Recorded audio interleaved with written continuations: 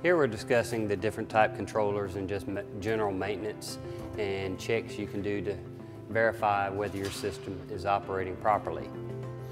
All of your, all of your controls, whether it be the Rainbird or the Sterling or some other brand, have a manual operation system. You can actually turn your control to the manual program, then you're actually going to manually turn on your different solenoids to check to verify whether they're working properly. Follow your manufacturer's specifications and directions on how to do this because each controller is different.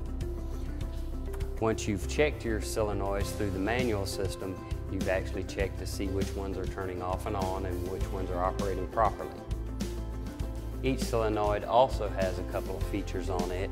They have a manual control where you actually rotate the motor, where you can manually rotate the solenoid and turn it on.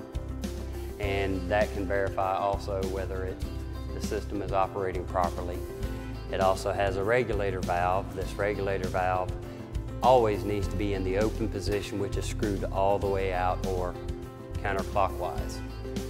This, uh, this is oftentimes a, a problem for systems is someone's come and turned your regulator down and that's why your misters or drip irrigation is not operating properly. Next, we're going to discuss cleaning the filter on your irrigation system. This needs to be cleaned periodically every three to six months.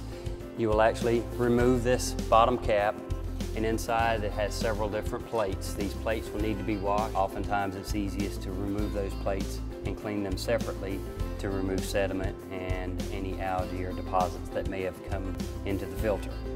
You do not use anything that's harsh or abrasive. Something mild like Dawn dish detergent works very well. Your backflow preventer, um, a common issue we get on it is we get calls of my backflow preventers leaking.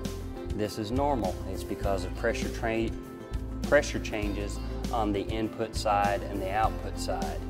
What the backflow preventer does is it prevents any chemicals that may be in your system from making it back into the main water supply. This is your fertilizer injector. There's really a, not a whole lot of maintenance uh, to do with this.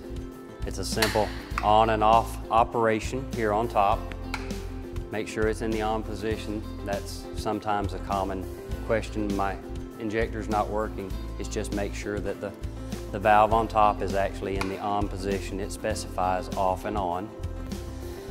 The only maintenance issue we have with this is making sure that your pickup screen and filter is clean. This, uh, when the system is operating, it will occasionally you'll hear a click noise that signifies that it's actually pumping.